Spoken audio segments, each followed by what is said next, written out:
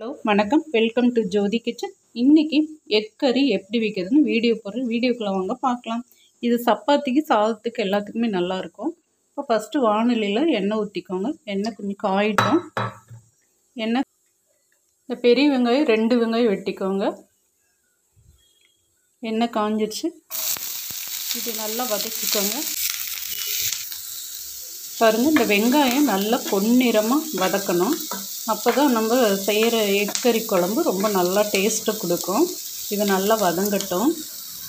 பாருங்கள் இப்போ இதில் வந்து வெங்காயம் வதங்கிடுச்சு இப்போ பச்சை மிளகா கூட போட்டுக்கோங்க. தேங்காய் கூட போட்டுக்கோங்க. பாருங்கள் இது தேங்காய் எல்லாமே வதங்கிடுச்சு இப்போ மஞ்சத்தூள் மிளகாத்தூள் காரத்துக்கு தகுந்த மாதிரி போட்டுக்கோங்க. இது நல்லா வதங்கட்டும்.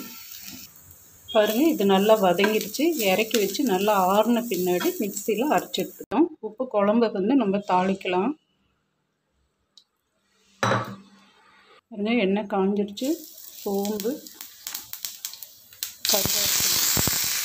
பாருங்க இது நல்லா பொரிஞ்சிட்டு இப்போ மசாலா அரைச்சி வச்சுருக்கோம் அது இதில் எண்ணெயில் நல்லா கொஞ்சம் ஒரு ரெண்டு நிமிஷம் நல்லா வதக்கிங்க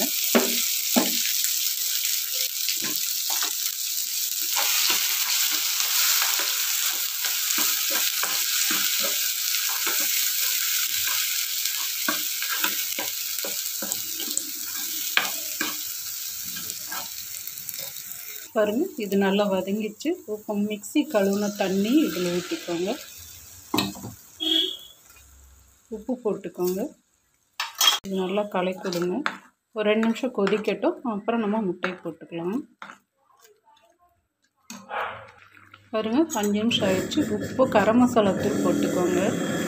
பாருங்கள் அஞ்சு நிமிஷம் கொதிச்சிருச்சு. இப்போ கரம் மசாலா தூள் போட்டோம். இது போட்டு இது நல்லா களை கொடுங்க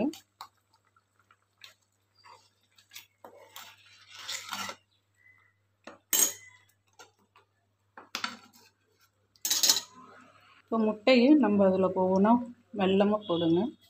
மசாலா பிடிக்கிற வரைக்கும் கொதிக்கட்டும்.